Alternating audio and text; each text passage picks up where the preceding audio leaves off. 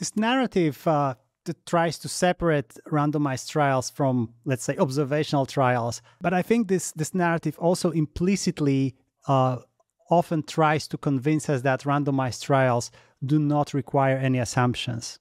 What are your thoughts about this? I think it's this.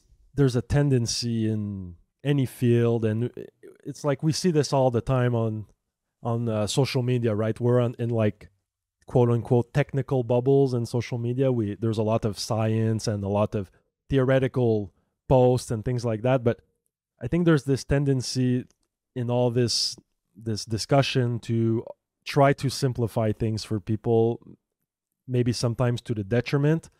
Like you said, oh, we th- there's an oversimplification of separating randomized trial and observational studies, but these these simplifications are they make for better messages they make things easier and we we tend to see this simplification as a sort of like eureka moment like oh, if only i have this part in my study then i don't need to worry about anything else. If only i randomize then everything falls into place and i i, I won't make a mistake.